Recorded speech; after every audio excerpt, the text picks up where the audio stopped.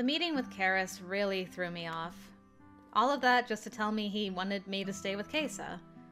And I'd already decided to do that. I had run away from the training room afterward, not because he upset me. I just needed some time to think about everything. It wasn't as if I liked him now, or agreed with his choices.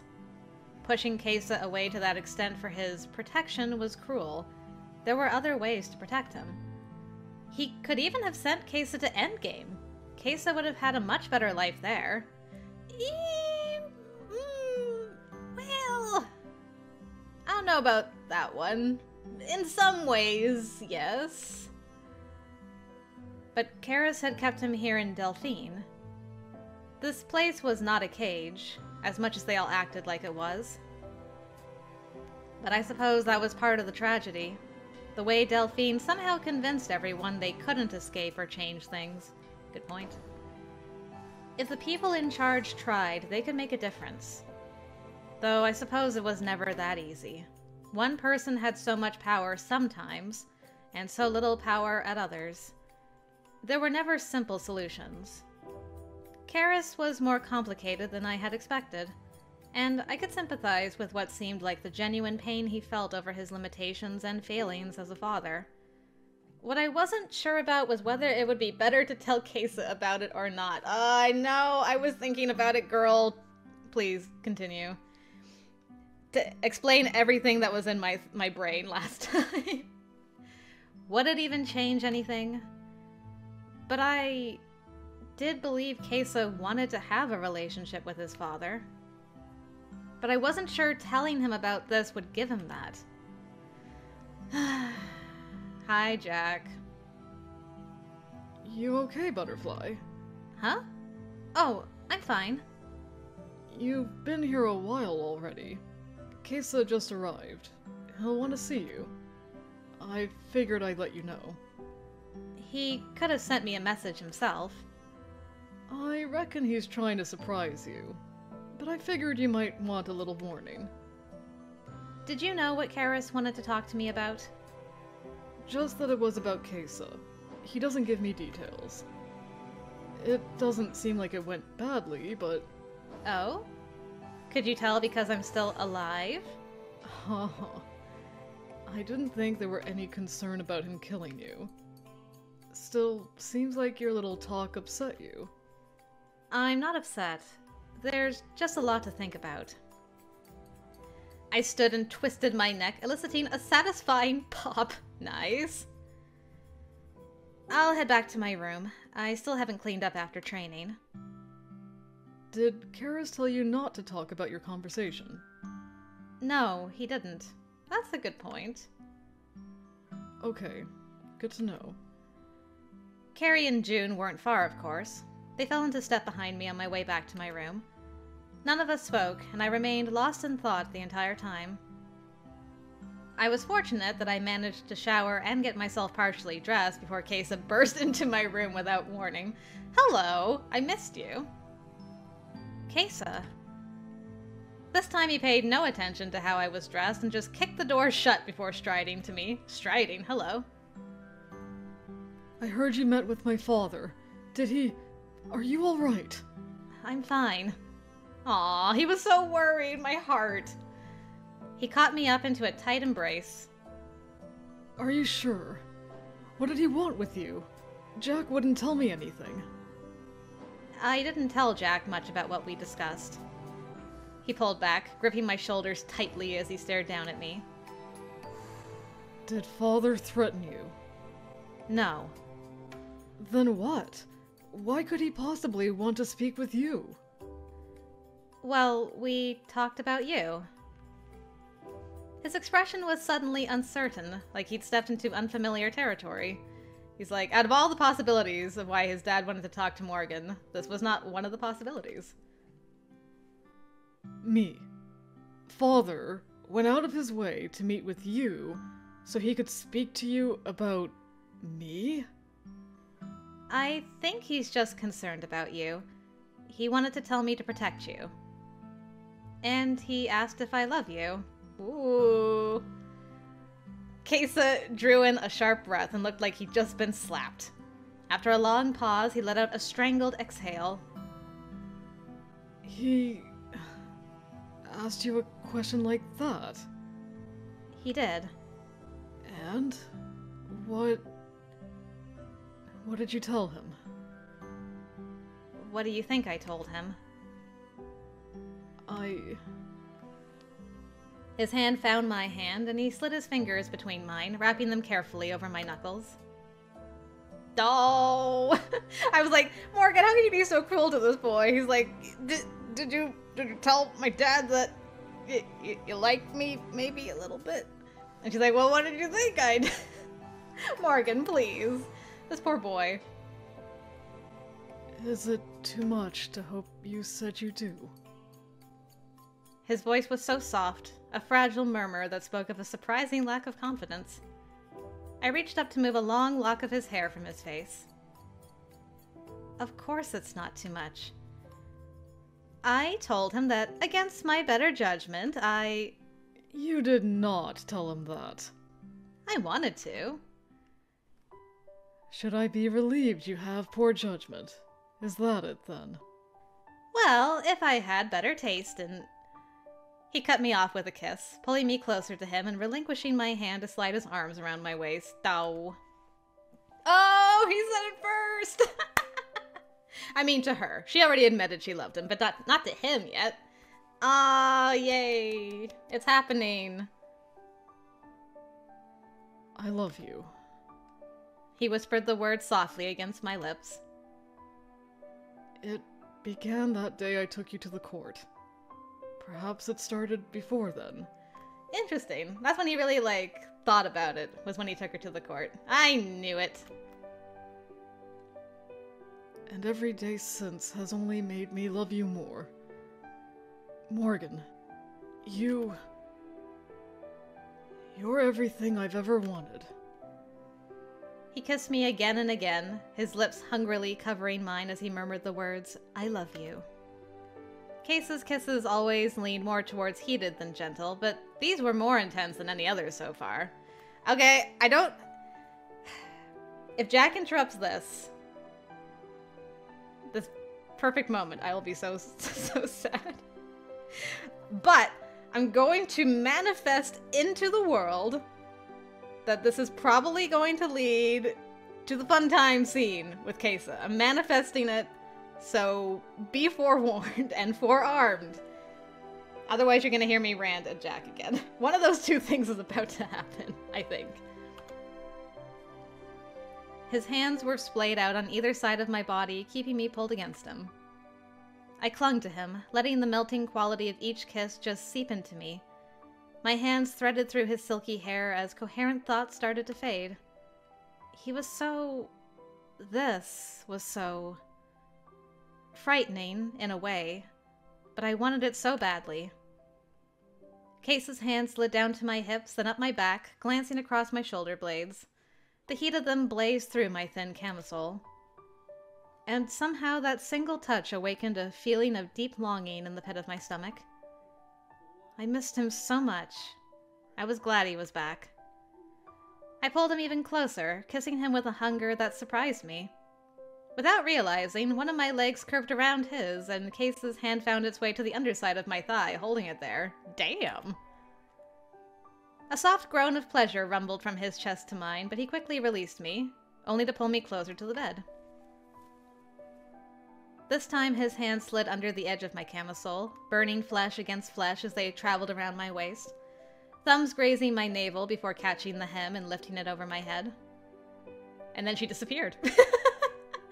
it was so much, she just out of existence. I gasped as cool air hit my skin, followed by Caissa's hands. His lips trailed over my shoulders, collarbone, the tops of my breasts. His touch oscillated between gentle and rough as he explored every valley and curve, caressing, kneading soft flesh. I let out a soft gasp as his tongue flickered across my skin, leaving a trail of wetness that raised goosebumps. Morgan, he murmured my name against the sensitive flesh of my throat. My world tilted, and I was falling back on the bed.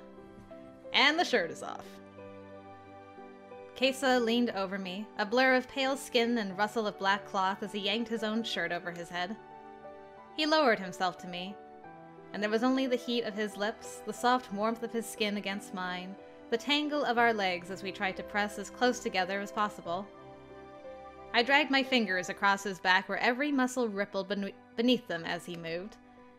I had wanted to touch him for so long, and now he was here. My mind had gone blank, filled only with his touch, his dark, captivating taste. Somehow my lips found their way to Caissa's ear, his neck, and chest. His fingers glided through my hair, gripping my head as he pressed in closer and let out a soft, pleading groan that didn't sound at all like him. I pulled away, and our eyes met. He pushed me back onto the mattress, but held himself above me with his elbows digging into the bedding. There it is. Ayy. On the crimson sheets, no less. For a long moment, it seemed as if time had stopped. In the dim lighting, he was so beautiful. His face was flushed, eyes half closed, brows pulled together in a look that was at once intense and yearning. Like he had smothered this desire for too long and now was unsure if it was all right to claim it. Each breath came in battered gasps, the only sound in the room. I reached up and touched his cheek again, breaking the tension. Caissa kissed the center of my hand, never looking away as he scraped his teeth lightly over the soft flesh at the base of my thumb. I bit the edge of my lips, amazed that such a simple gesture could send waves of heat spiraling through me like that. I love you. Yay, she finally said it back. I'm like, are you going to say it back? He just said he loved you. Hooray. A smile unfolded over his features, filling his, uh, his face with such heartbreaking tenderness that tears stung my eyes. I loved this man so much. How did I not realize how much I loved him? When he kissed me again, it was slow, with unhurried and sensual ease. His arms circled behind, lifting me off the mattress to press against his bare chest. He cradled me against him as if holding something precious. Oh. I gasped against his mouth as he pressed his hips in closer, electrifying every nerve in my body at once. He rocked against me once, then again. I let out a soft, kneading cry at the feel of him so tight against me, trying to rub myself against him to ease the growing ache inside me. I want you. Y- yes. Yes. Our lips met again, then Caissa lowered his head again, his mouth resting for a space just below the hollow of my throat. One hand slid be- below my waist, catching on my waistband as his head traveled lower, tongue trailing down my breastbone. Sparks blazed through my vision, and I squeezed my eyes shut, letting out a shuddering whimper as he made a valiant effort to taste, to claim, every inch of skin from my breast to my navel, then lower as he removed more of my clothes. Yay, hand holding again, let's go.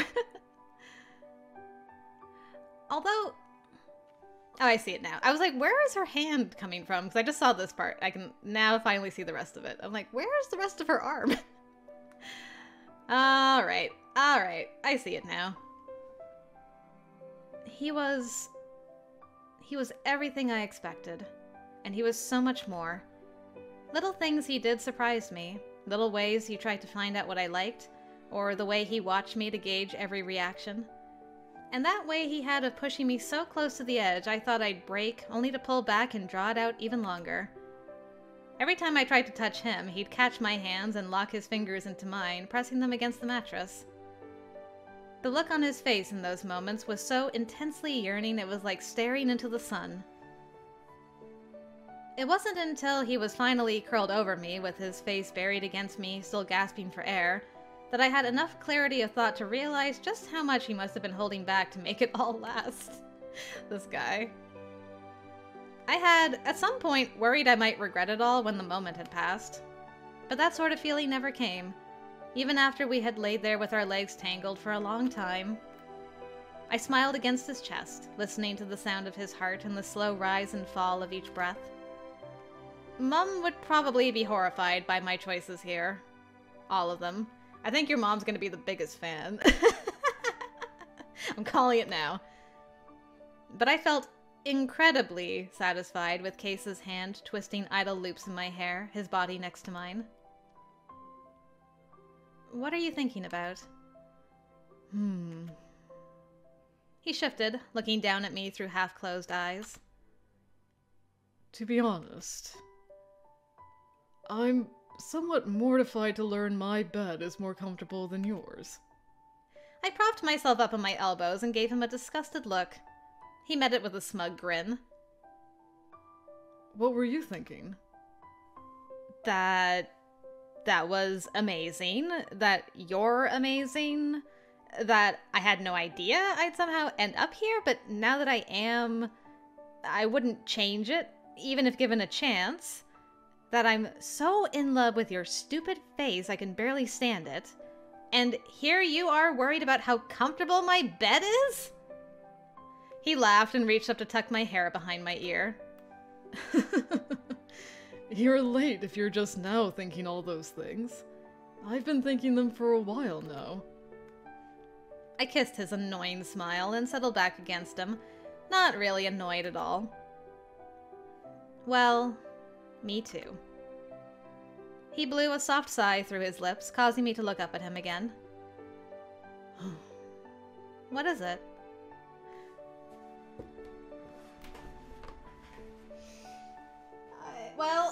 He waited. He waited. He at least waited. Oh, could have been worse timing. But still, I just. I'm. I actually have tears in my eyes because I'm so sad that Jack has done this again. But it's. It's. It's okay. I'm not angry. I'm just like. One scene. What? Can I have one scene with Caissa where Jack is not involved for like five seconds? I'm losing my mind. I can't believe I'm actually tearing up. Uh, just as I just need I just need to recenter myself. it's fine. Jack gets a free pass this time, right? Right. no wonder he sighed. A message from Jack. You have to go? I should. Though, I would like to come back. Really? I thought my bed was uncomfortable. Caissa sat up, stretching and giving me a wonderful full view of the tattoo on his back. I couldn't stop myself from reaching out and touching it this time, like I'd wanted to before. He gave me a teasing smile over his shoulder as I traced the delicate feathers. You're right. Your bed is uncomfortable. Thus, you should relocate to my room instead. You can be so spoiled when you want to be. He leaned down to kiss me. Otherwise, I will be back. Uncomfortable bed or not. I look forward to it. I watched him dress, something that was a very gratifying pastime. Then I watched him leave before falling back into the bed, happy. Very, very happy. Yay! Alright, chapter 11 All the Stars in the Sky. Will never be enough. I think your idea about the rooftop garden for the court is good, as long as there are people willing to oversee it. It's going to need daily work to get it up and running. We can find information on exactly how to get it set up and how to run it so we can teach them. But even if we're able to synthesize starter crops for them, it will be some time before it will be able to provide anything for the tenants. I understand that. It may help if I offer a small salary to the caretakers. Looking at these images, there's a lot of suitable space available for a nice setup. I'm looking forward to it. If we're considering something more complicated, getting some equipment will be tricky without attracting attention. Something like this would usually require several permits we won't be acquiring. There are some unregulated markets where we can purchase most of what we need, though.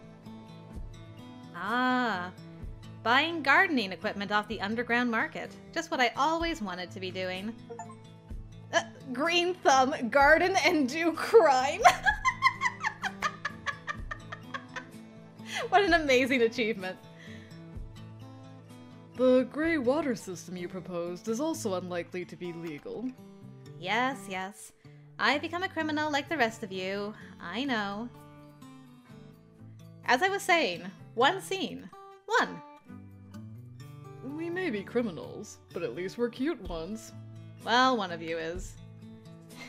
In this route, anyway. No, you're not. Have you seen some of the people in this group? Come on, Butterfly. You think at least one of us is cute. I gave him an annoyed look. How did he hear me through the screen? Besides, you're one of us now, and you're quite lovely yourself. Jack, I'm curious about something. Sure, what's that?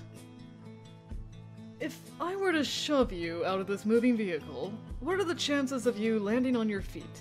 I vote for testing this out. Jack clicked his tongue, waving a finger at Caissa. No, no, not in front of Morgan. We can't advance from illicit gardening equipment to murder in a single move. I rolled my eyes at the both of them and turned my attention back to the display in my hand. Ever since Caissa and I had made it known to his inner circle that we were together, Jack had made it a point to constantly tease me about accepting my new life as part of a criminal group. It was annoying. A slight smile came to my lips anyway. He was an idiot. And sometimes so was Caissa. And they really are cute. Anyway, once we have a look at their water system, we'll know what sort of arrangement will work best. It would be great if we could set up an organic filtration system. But that would require piping the water into an artificial wetland to be cleaned and then rerouted for use in the garden. The plumbing for that kind of system would be the most troublesome part. Even though reusing the building's gray water was the best option to keep water consumption down. I didn't expect your report to be this interesting. That's almost offensive, I'll have you know. He smiled as he pulled up a display of his own. Still, I'm glad you found it inspiring. Downsizing some of the initial suggestions to a rooftop garden for the court is a wonderful idea. It would be great if we can expand it to more buildings going forward. Every time I visit New Albion, I'm surprised by the amount of plant life. It will be more difficult to get plants thriving here, but I think if we choose the right ones, we can manage. Mostly we'll be looking at native flora, which is sometimes overlooked by city planners. Setting aside things that provide food, utilizing a bioregenerative system will mean less power reserves going to life support.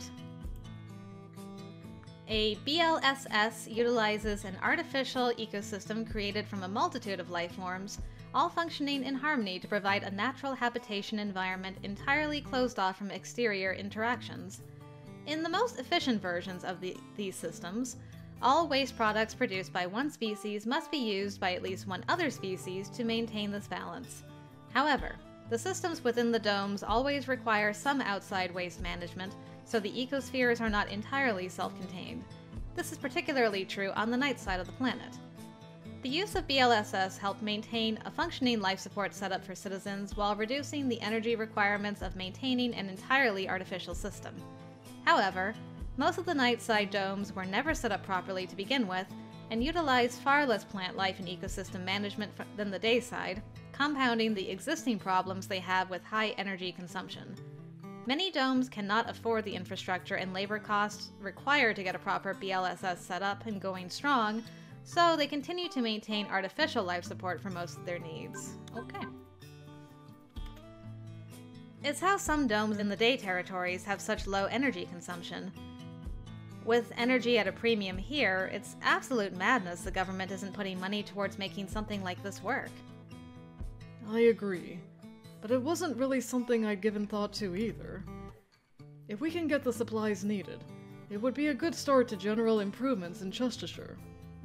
Sometimes there are so many problems that the simple solutions become difficult to spot. And you have other solutions here that we can work with too. I'm glad. Believe me, this is not my area of expertise. Perhaps not, but you think like a scientist, and that's a valuable quality to have here. Well, if any of my ideas can help, then I'm glad for it. He took my hand, lacing our fingers together with a soft smile. They will help, of course. Okay, okay. It creeps me out when I see you acting all cute, Caissa. Knock it off. Ah, you are still here. My thoughts exactly. Where the hell would I go, Caissa? We're in a damn car. I laughed as the two of them started the usual bickering again. The court was the same as always. Caissa was mobbed as soon as we arrived. People stared at me this time, mostly because Caissa wouldn't let go of my hand. Aw. And we had to answer a disturbing amount of questions about our relationship before someone finally managed to lure him away from me. Which left me to fend for myself. Not that I minded too much. Most people were friendly. Ish. Oh gosh, Veli, it's been so long. what, you jealous or something? What what's what's with the third degree from you all the time? You got, you got Rowan. What do you want? I should have seen this coming. You would be his type. You're trying to make it sound like an insult, but somehow I'm not insulted. At the very least, I'm glad to hear you're actually making progress with your Sai.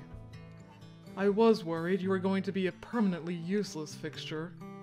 Pretty, but unable to provide any practical value. Like a pretty lamp with a few missing fuses. Thank you. I get I get the point. I'd be careful with the insults, though. She might actually be stronger than you are. Oh, you're here. We're all just turning against Jack one by one. Caissa, Veli, me. We're just like, oh, Jack, you're still here. Mm. Yes, I'm here. What is with you and Caissa today? I don't know. Maybe you've been overstaying your welcome everywhere, Jack. Poor Jack. It wasn't his fault he was fun to pick on. Though it was his fault, he usually deserved it. Veli has much more experience than I do, Jack. Sometimes raw strength isn't enough, so please don't compare us. Oh, you do say smart things sometimes, don't you? Morgan, don't waste your breath being nice to this jerk. You're being quite cheeky today, Jack. Celeste's out at the moment. It would be a shame if my hand slipped and I stabbed you when there's no one here to heal you. Again. Again? If you haven't noticed, Jack is annoying. I have noticed, actually. But that's no reason to stab him. He was particularly irritating that day. I believe it at this point. Veli has a valid point. Considering Veli also seemed to find me irritating during most of our interactions, that was a little concerning. Good point. Veli, if you ever stab me, I'm going to fold you in half and shove you in a closet somewhere.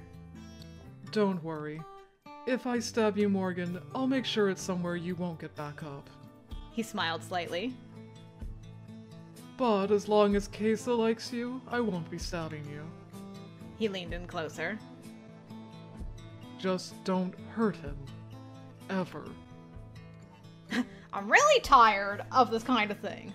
Look, I'm, I'm not confident or stubborn, but I'm confident in this situation, okay? You don't have to tell me that. I don't intend to. Good. He started to sweep past me, as he did, but he paused to give me a look through narrowed eyes. That means taking care of yourself as well, Morgan. Good point. Because you would be hurting Caissa if you got hurt. Alright, alright, Veli, I see you. Caissa has been through enough. And he's lost enough. Don't make him lose another person he cares about. You don't have to tell me that either. Then. Perhaps it's late, but. Welcome to the court. I went stiff as a board when he enfolded me in a quick hug. Who are you? What? What? What? Veli, what the heck? you can't just do that out of nowhere. He left me standing there wide eyed and kind of afraid as he rejoined Rowan, who was standing close by. I think my life flashed before my eyes. I don't blame you. I barely had time to get my head around that when Caissa found his way back to me. Morgan, let's have a look at the roof. I've also suggested a few others come with us, since they have skills that might be useful for getting things set up. Alright, let's go. Everyone is looking forward to seeing what we come up with. It seems like there's a lot of interest in this project. I'm glad to hear it. He set his hand at the small of my back and guided me up the stairs.